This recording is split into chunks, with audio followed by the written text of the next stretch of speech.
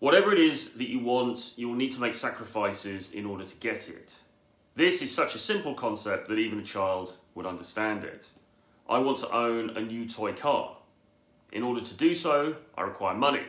To make that money, I must sacrifice my most prized asset, time, in order to make the necessary cash. We all pay lip service to this idea, but how many of us are truly willing to put ourselves on the line and really sacrifice ourselves in order to get something that we want? To look at it another way, what might possibly induce someone to go to extreme, even ridiculous, and potentially humiliating lengths to get something? The only thing is, is a desire that is so strong that it burns in your soul like fire, an all consuming conflagration that is both fierce and unforgiving. Because it is only when you want something that badly that you will be prepared to go to any lengths to get it. Ed Latimore the former pro boxer and now self help guru, has single handedly created a meme about crackheads on Twitter and about how crackheads will outwork anyone on the planet just for a crumb of the good stuff. I myself have a very addictive personality, and throughout my 20s, I was a full blown alcoholic. I had no money. Well, I wasn't a fully functional human being in any real sense of the word. And any money I did obtain went straight on the drink. But often that wasn't enough. Often I'd run out of cash towards the end of the week, but not getting alcohol wasn't an option. I had to have it. And so I would do anything I had to do to get it, including borrowing money from friends and from people who weren't my friends, lying, and even stealing.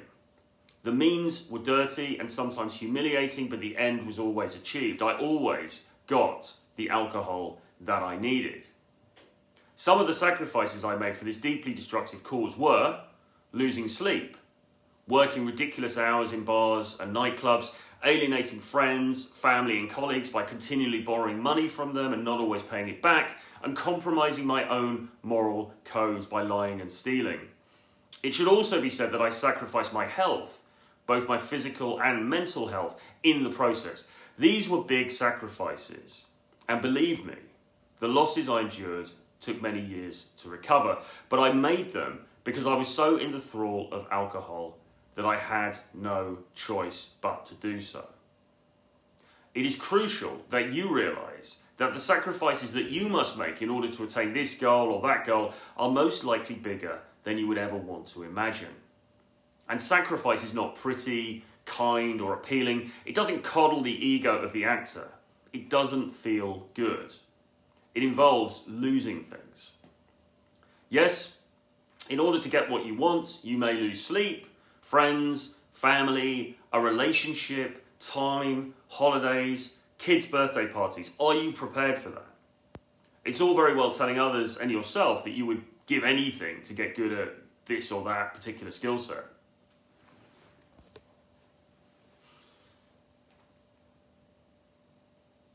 to attain a particular goal in your life. But until you start actively losing things in pursuit of your dreams, then you are really just role playing.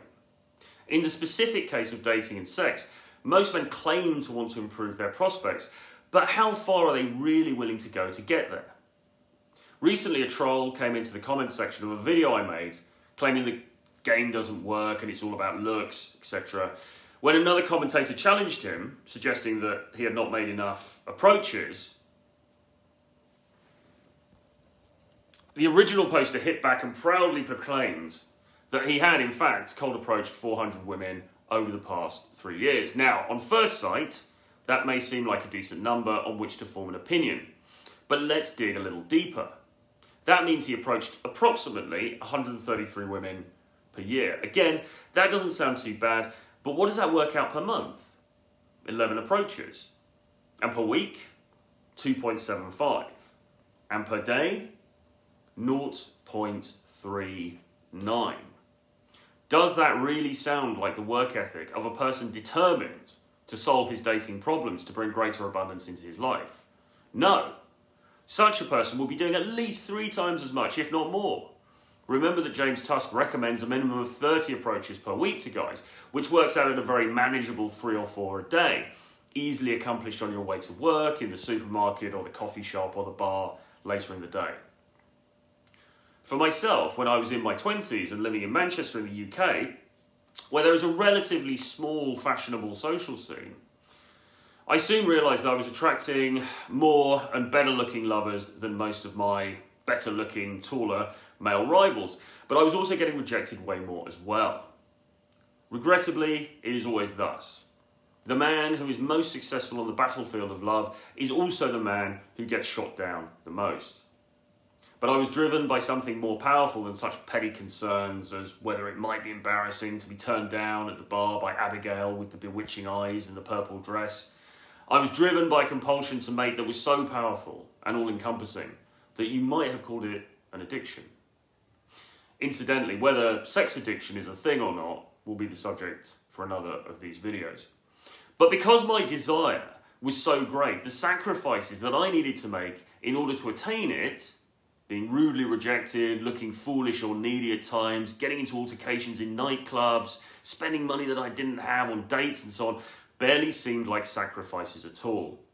They were merely the collateral required for playing the game, a fee I would willingly pay ten times over if it meant the attainment of licentious bliss with this or that young beauty.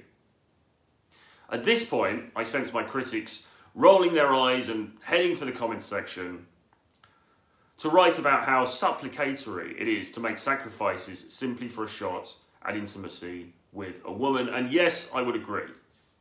I don't recommend to anyone the life that I was leading back in my 20s. In fact, if I could go back, I would definitely do things differently. Your 20s should be about building to, towards your future. But there we are. None of us can change the past. So I don't refute the assertion that making sacrifices in order to have an abundant dating life can be viewed as the wrong course of action.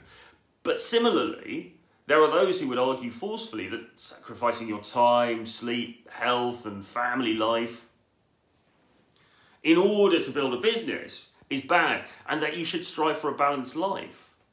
I see their point, but at some stage you need to look at things as they really are rather than how you would like them to be. The modern dating marketplace is hard. Building a business is hard. Achieving anything that many other people cover is hard. What are you going to do about it? Are you going to sit around making excuses or are you going to do what needs to be done to win?